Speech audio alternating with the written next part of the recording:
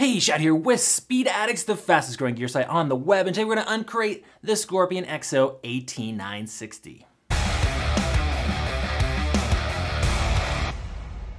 What's up, Speed Addicts fan? Before we jump in and give you the full scoop on the brand new AT960 from Scorpion EXO, do us both a favor, subscribe to the Speed Addicts channel. That way you don't miss out on any of the latest parts or gear coming your way. We're always getting first look, trying to get you the content right away on the latest gear. Subscribe and you won't miss out. Also, if you decide you'd like to purchase a Scorpion helmet from us here at Speed Addicts, we would appreciate that as well. We make it real easy. There's a link in the description below. They'll get you right over to the brand new AT960. You'll also be able to shop for any other parts or gear you might need for your next two-wheel adventure.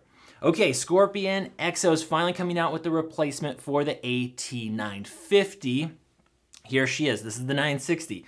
Now, the AT950 was one of their most popular and still is actually, I think. I don't know how long they're going to run those. I mean, there's maybe just some leftover inventory or whatnot.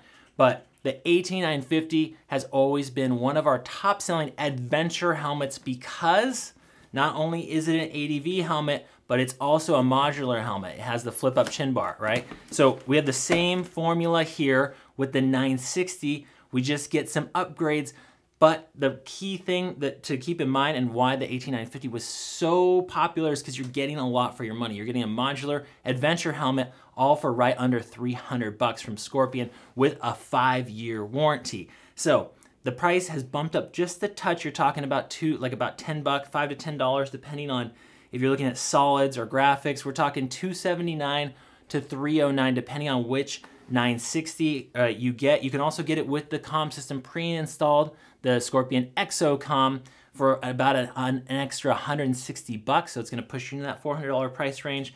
Uh, of course, you can buy, and that's only in the matte black. You can always buy the EXO-COM separately, and it is full a fully integrated option. More on the COM systems later. We'll get into that in a little bit. Let's get back to the helmet though. This is a polycarbonate shell.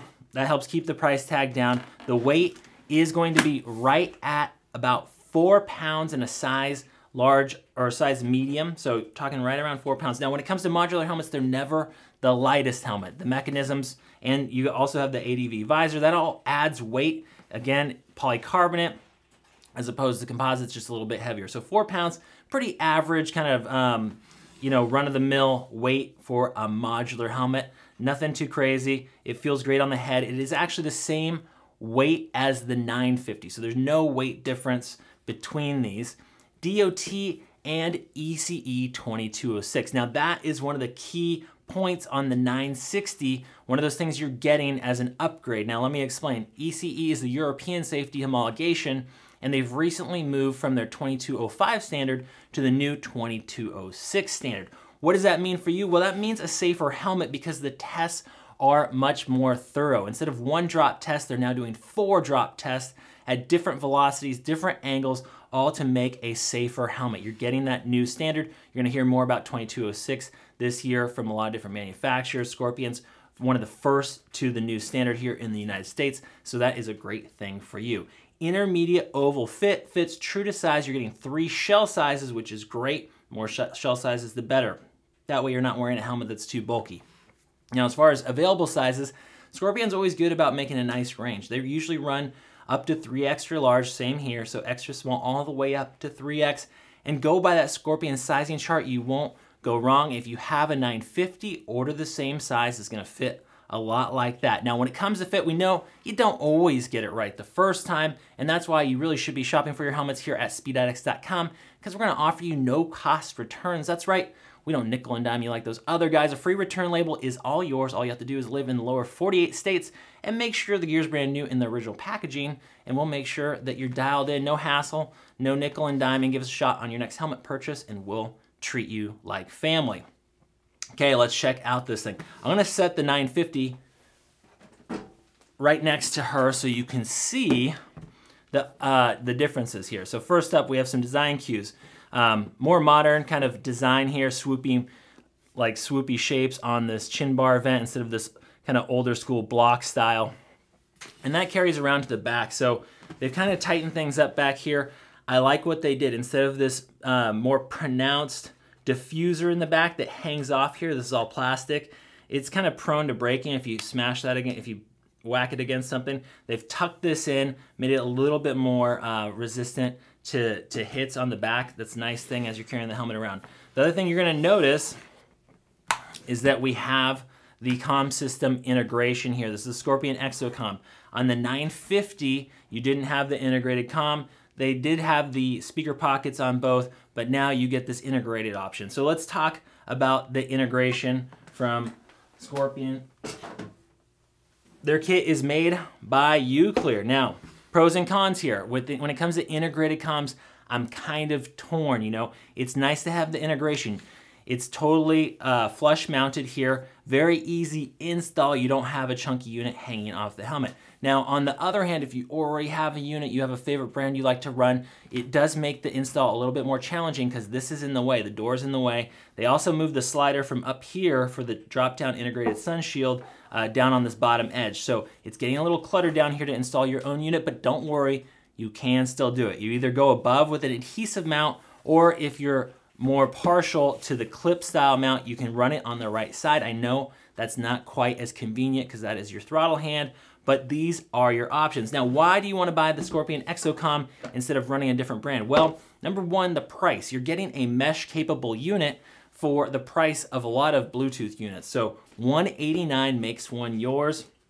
This is a great unit, awesome sound, you know, uh, killer call, call quality. We have really good reviews coming in on the EXO-COM. One of the other perks is that it doesn't have an external microphone. The microphone is built into the speakers and the quality is surprisingly good. You don't have to worry about a, fighting with a boom mic when you're opening and closing this because modular helmets, you gotta run that boom mic. You don't worry about that being in your face and you don't have to worry about installing it. So install is really fast and it's about $100, $100 less than a lot of the mesh units out on the market today.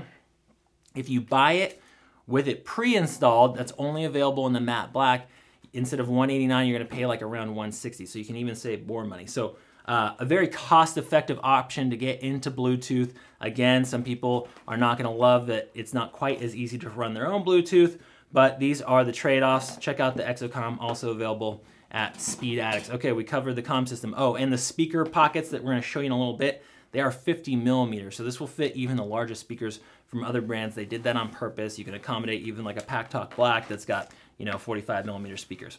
Okay, back to the helmet here. We have the very distinct, this looks just like the 950 uh, peak here. Now you'll notice this is a nice airfoil. There's no center contact point between the peak and the helmet here. That's gonna allow this thing to cut through the air better and it'll pull on your head less at highway speeds. If you don't wanna run it, you can spin these off.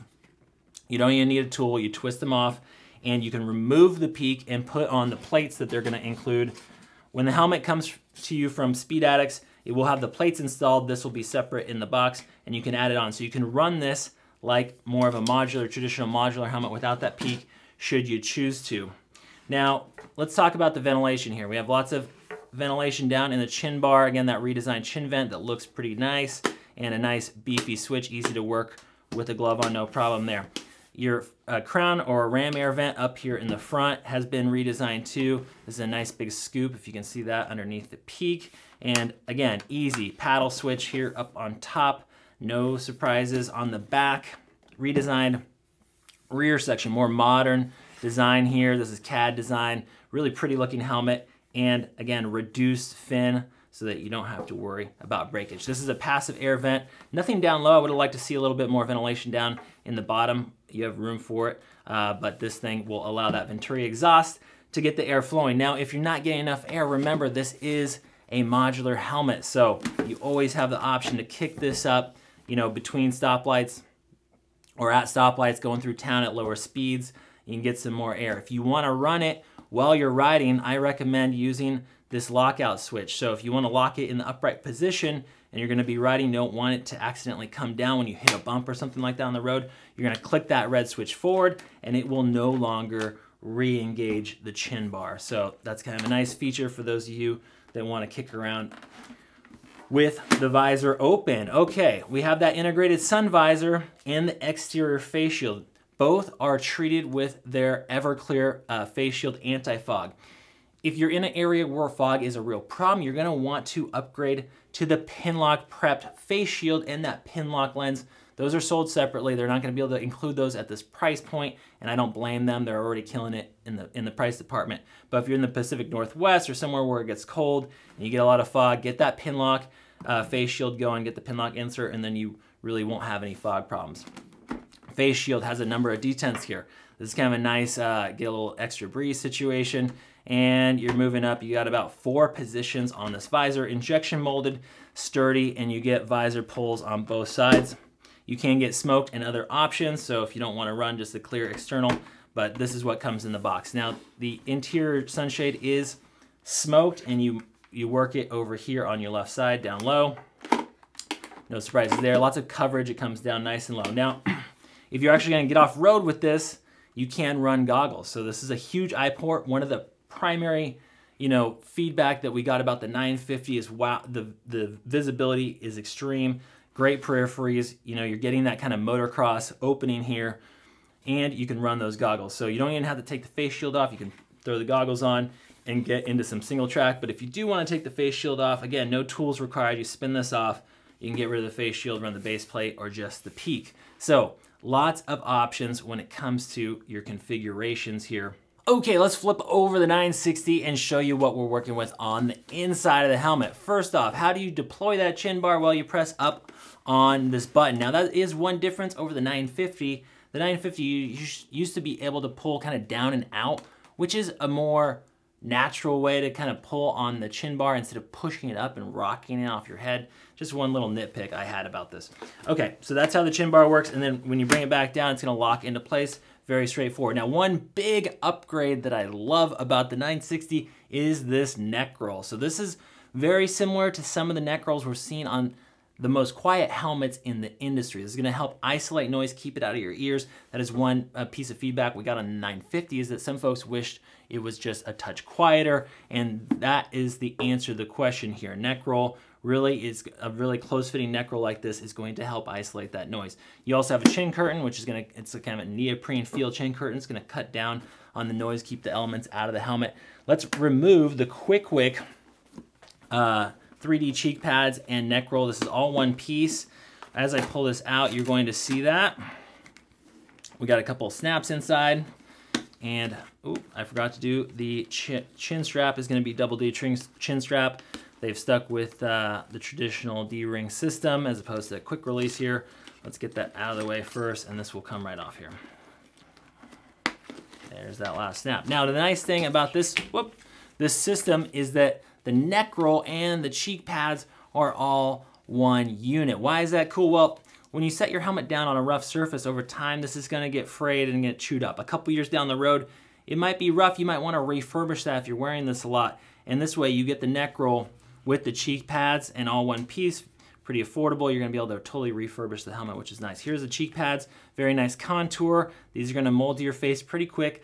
I like to buy helmets a little on the snug side out of the box. Allow for about 10 to 15% break-in over your first few months of riding. And that's my recommendation there. Okay.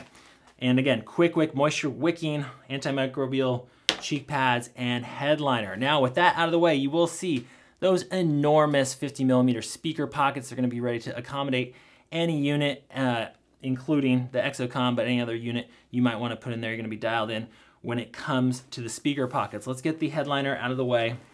And we're gonna show you the EPS is channeled so the ventilation system can work nicely for you. Here, we'll pull that out of the way. Okay. Here is your laser cut 3D headliner, comfort liner. No snaps in the front. Instead, they've gone with this brow uh, mounting bracket here. And then on the back, you do have two snaps down low. This helmet fits great. Again, true to size. Shouldn't be no surprises in the fitment department. Now, that is your EPS liner. Again, channel. It's going to allow the airflow to get through the helmet onto your scalp and really do the work. Multi-density EPS, again, that is passing ECE 2205. So you're getting that modular adventure helmet with the drop-down visor. It is COM system ready. Affordable price point, just south of $300 with a five-year warranty to protect your investment from Scorpion. A lot for the money here, for, folks. You're gonna be dialed in. You're gonna like this a lot, especially if you had a 950 or you're just looking for a lot of adventure helmet for the cash, it is the 960. Now, if there's a question I didn't answer about this helmet for you, don't worry, Rider Sport is always standing by at speedaddicts.com where you can talk to a human over the phone, live chat, or emails. We've already sold a bunch of these. If you've got one in your hands, let us know how you like it in the comment section below. Don't just take my word for it. I'm just, you know, up here doing my thing. Let's hear what the public has to say. Get your feedback in the comments. Appreciate y'all for watching. See you next time to find out what's in the crate.